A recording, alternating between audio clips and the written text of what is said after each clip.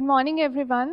First of all, I'd like to thank Professor Phatak and Mr. Nagesh Karmali for guiding us and giving us this valuable opportunity to work on the fundamental research group project that is optimizing Moodle learning management system to improve the user response time. Our project in charge is Mr. Nagesh Karmali, and the team members are me, Priyanka Manchanda, Akshaya Muran, Surya Pratap Singh, Mevin Dominic, Shilpa Reddy, and Shabna TR.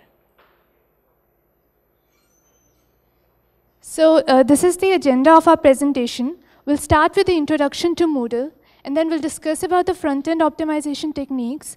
We'll have a discussion on study of performance of Moodle, backend optimization, hardware optimization, client-server communication mechanism for Moodle's quiz plugin, and policy enforcement framework.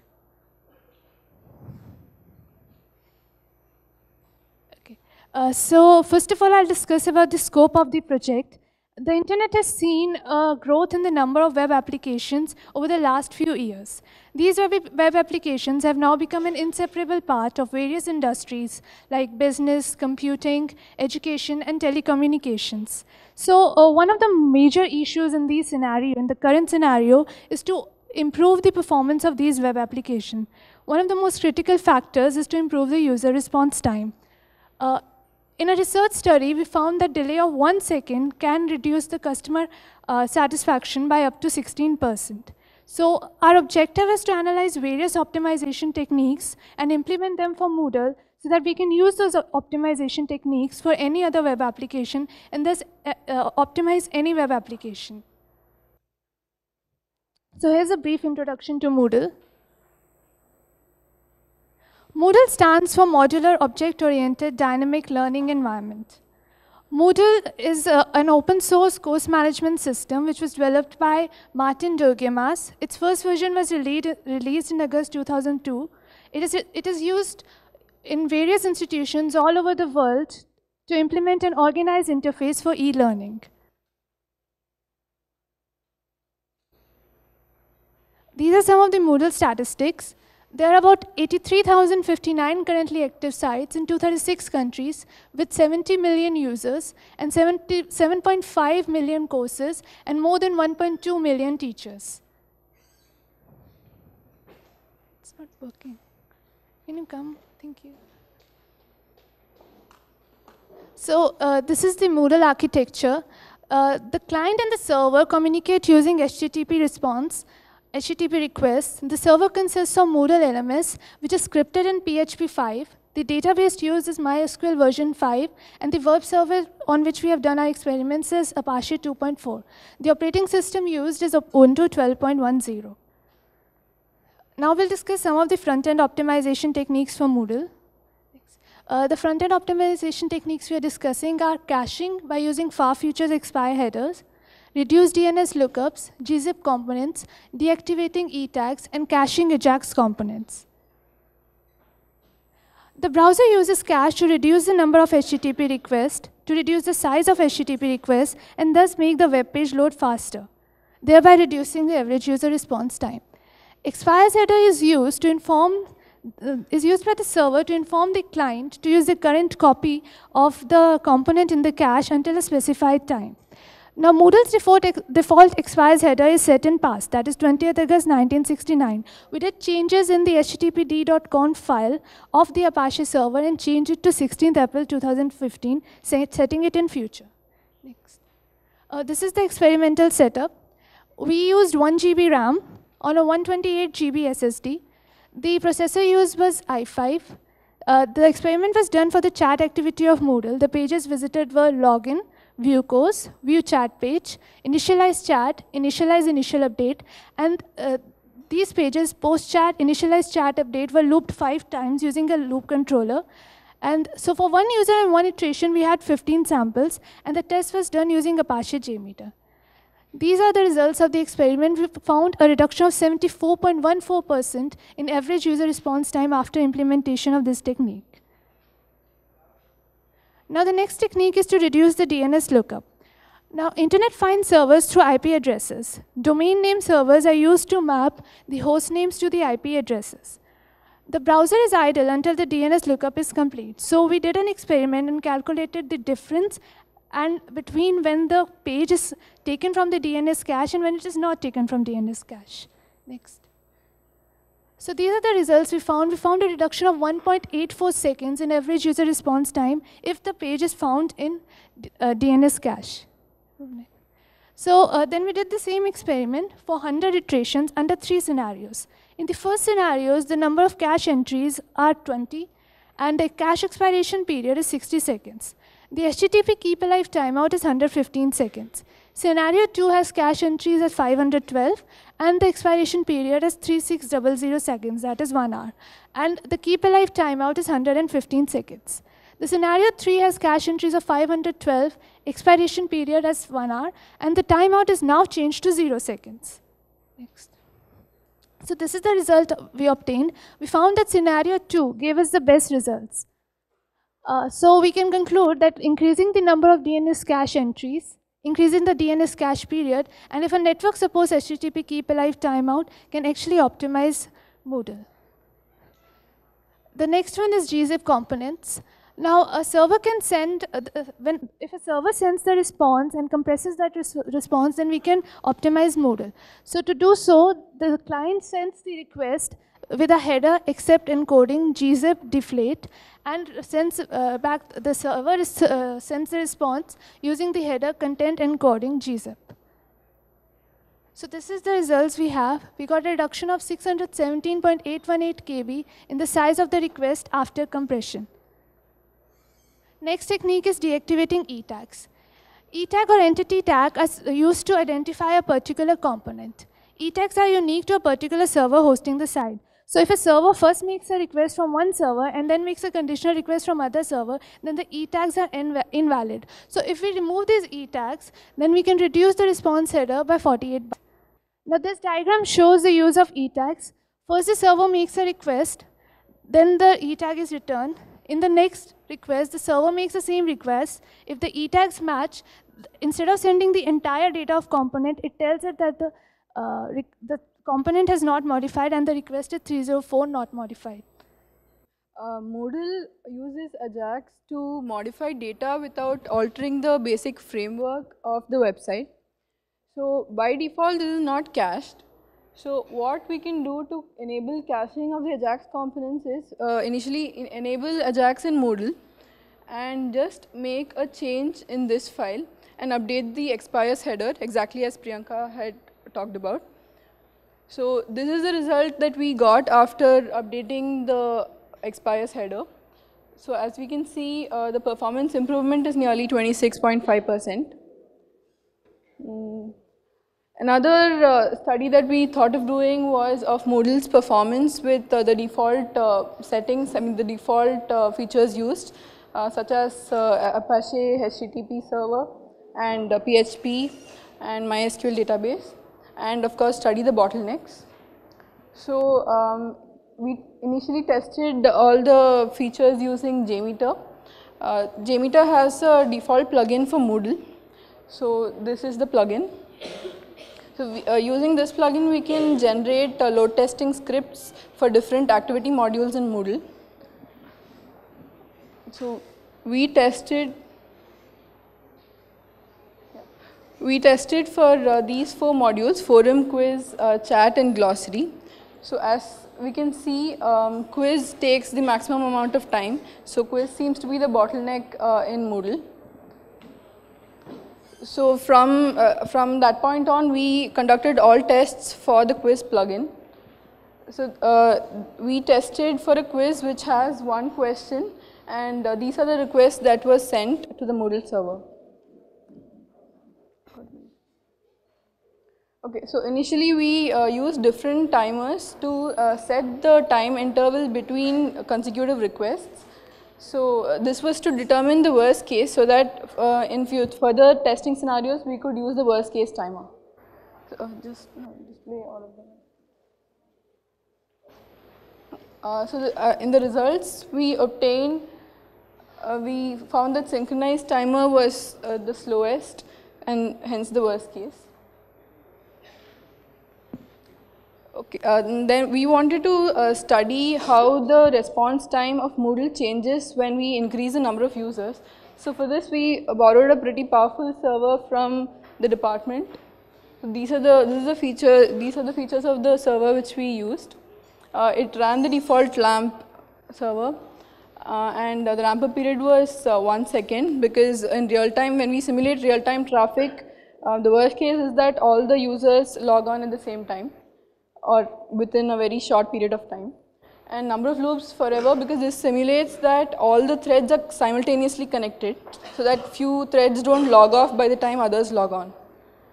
So we, uh, yeah, we test until we obtain this error because uh, this tells us that the server is no longer able to handle any more requests. So we increase the users from 100. So this is the result we got. As you can see around 412 we started getting errors which means this is the maximum that the server could handle. So it's an, it's an almost uh, linear relationship.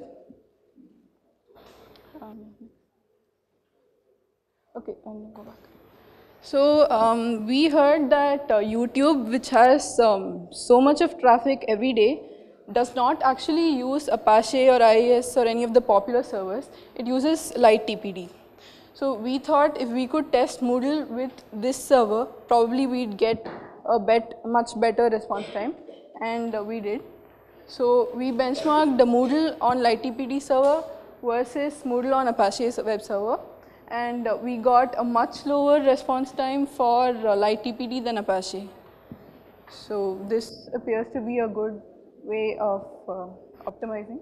So now I'll hand it over to Surya, he'll discuss query optimization. Good morning everyone. I am Surya Pratap Singh. First of all, I will talk about the Moodle table size problem. Uh, Moodle backup controllers is the biggest table in the database. Its size is around 1.6 GB and it contains around 22.5k entries. So here is a simple script to delete the old entries over a week old so that we can maintain the new entries effectively. Now improvement in the grading system. So whenever a module creates an instance of an activity, it uses two functions, the grade update function and the grade item update function. So it sets the parameter for that activity. Now initially, suppose if we set the parameter to 0, then the grade type will be set to none. Then we can edit it and set it to a particular value. So it will set it to a particular value and then it can be edited. Now suppose again we set it to 0, then that 0 activity will always remain in the module and it can't be edited again. So we have to take care of that, that once we set a value to it, we don't have to make it null again. So this will enhance the grading system of Moodle. So we have to avoid activities with zero grade. Now removing irrelevant links in quiz plugin. So like a plugin is simply a folder of PHP scripts, JavaScripts and so on. So there's a file named lib.php in every plugin and there are entry points in that through which the Moodle core interacts with the plugin. And the view.php controls the particular instance of the real-time quiz. So we have to make editing in that to control the view of the quiz. So we want that the entire control should be in the hands of the teacher and not the student. So I made some simple changes. I defined some global variables in the view.php file and uh, I initially set them to 1. Then I control them by resetting their value to 0 whenever the teacher starts the quiz or the student takes the quiz. So by putting the footer in the conditional loop, I control the view. Thanks. Good morning, everyone. I am Mevin Dominic. I'll be discussing about the hardware optimization for Moodle. In this session, I would like to discuss about uh, one or two experiments which we did so as to optimize Moodle at, uh, at the backend. That is, so as to reduce the database latency.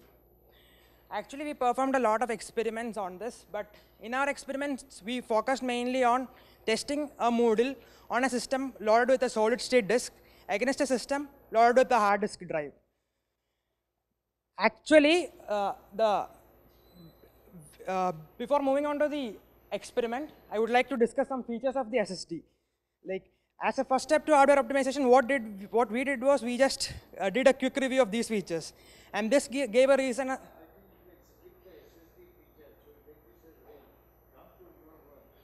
Okay, uh, sorry. Then I'll skip the features. So this is my uh, experiment. I did, uh, my, the objective of my experiment was database optimization, how, what the difference is by loading the database in an SSD. So these are the quiz details. The experiment uh, was done on the quiz module in Moodle. Uh, the, we used a dummy Moodle for that with two users. And a user was made to give a quiz. The quiz contained five questions. And five questions were a mixture of all the types, like MCQ, true or false, etc. So, and, and the quiz was given in a random way, totally random way, so that it included both right and wrong answers, so that we get a mixture of queries. And all the queries that were generated were logged and dot, which was obtained. And these and this table gives the uh, number of queries that were generated, and this was obtained by flushing the query log from time to time. And uh, Moodle actually generates a lot, lot of queries for each activity. And we are interested only in the quiz, which is Okay, uh, the reason is that uh, the queries which Moodle fires are like, it fires unwanted queries too. Like if, instead of fetching two or three columns, it fetches the whole table as such. It, it never uses select some columns, it always uses select star from each table. And yeah, the Moodle, uh, the database queries which are fired are not optimized queries. So the quiz contains 554 queries. Now, coming on to the experiment, the test was done on four different systems. I tested it on uh, i3, i5, and i7 systems, and also on systems loaded with SSD and HDD. So this provided me a varying configuration of RAM and CPU. So coming down to the results, uh, as you can see, the rightmost end gives the result of the SSD, and uh, while compared to all other systems, a system loaded with a hard disk drive takes at least 2.5 seconds, at least 2.5 seconds as compared to an SSD. So we plotted a graph, this was done for a single user, and we plotted a graph and a factor was calculated. So the average time for a single user has, has given there, we averaged it out, and the factor was around 3.65. So in order to confirm my results, I just did it for 100 users, and the time were times in seconds, it, it is a time in seconds. We obtained these times, the factor was again 3.68, it was 3.65 before. So coming to the last part, like whatever the number of users we get a, uh, when, an, when a hard disk is used, there is a la latency delay of three times as compared to a solid state drive. So like another feature, like we are using MySQL database for Moodle. MySQL database supports more number of simultaneous logins if more RAM is used. So using an SSD server with maximum possible RAM, with maximum possible RAM can boost up the performance of Moodle database. It can reduce latency of the database. That was my experiment. I'm uh, I'm only focusing on the communication mechanism code of the Moodle, and it it was experimentation proposed for this where implementation of long polling and random batch mode algorithm. Now long polling is uh, keeping a pending request of client over the server side until a uh, updated response can be returned to the client. The benefits there are number of benefits of long polling. A smaller number of requests from the server side uh, to the server side from the client are sent and this reduces the traffic. Bandwidth usage is reduced. Repeated request method which earlier used was uh, short polling. In that method uh, uh, repeated request. So the repeated request uh, establishment time was in, uh, highly more. So this reduced the establishment time of the request and response. Now long polling benefits are after long polling how this technique works? Diagram diagram this technique works that uh, whenever request is sent to server, the response is only sent when the database has a new, new data to send. The database queries are very uh, frequent, so there is no much time lag in that. But when a um, updated data is received, the response is sent at that time, and the next request is dispatched after the new response. This reduces traffic. Implementation to Moodle. This quiz was implemented to Moodle in such a way that that uh, time request uh, code from the plugin was removed and after that a variable was uh, set so that uh, it will indicate quiz in which mode. It is in quiz mode send question mode show result mode. And this status was used to hand over the um, response to the client side.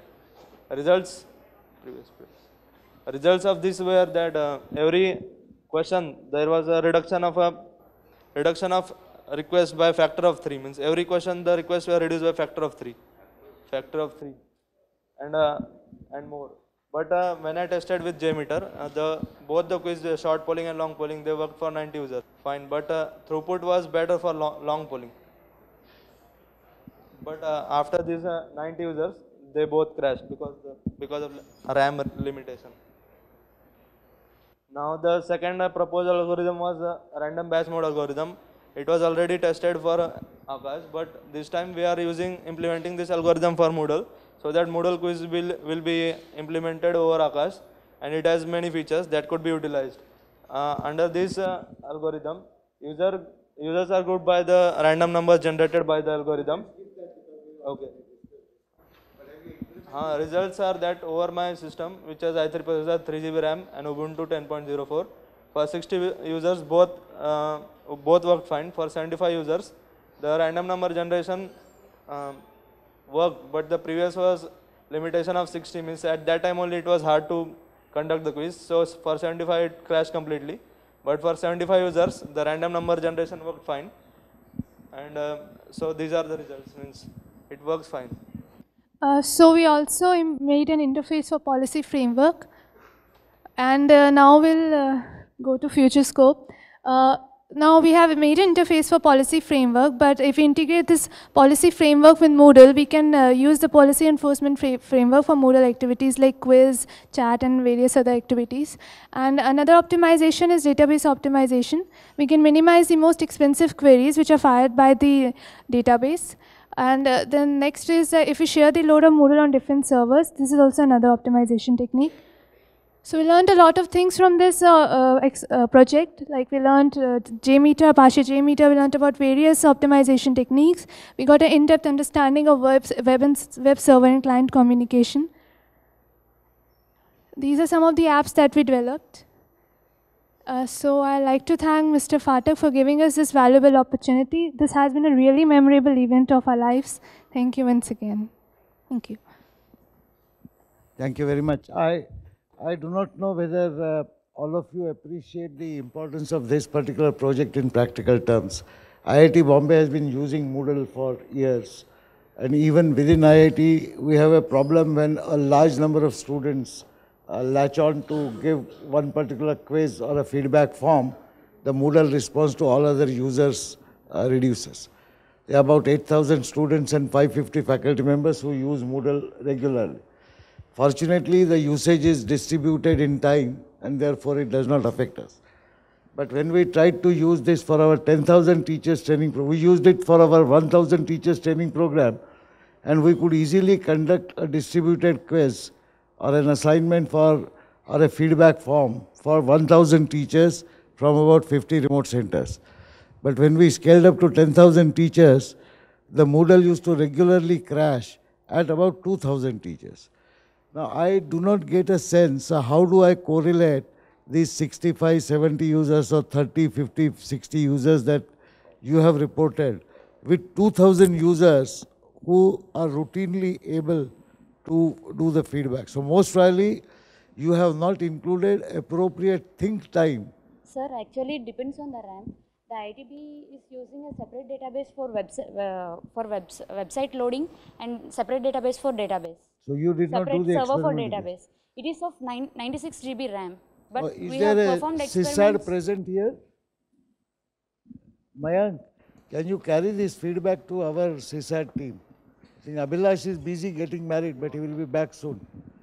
Uh, uh, you tell them that they should do the same JMeter testing with these optimizations on the main server. So before we run the next 10,000 teachers course in December, I think we should be able to solve this problem. No, that's right. So, yeah, so you are firing uh, transactions as soon as one is over. That is not what happens in real life. You can crash any system, including a supercomputer, if you do that. Yeah. Anyway, but excellent work done. I hope you have learned a lot in the process. Thank you so much.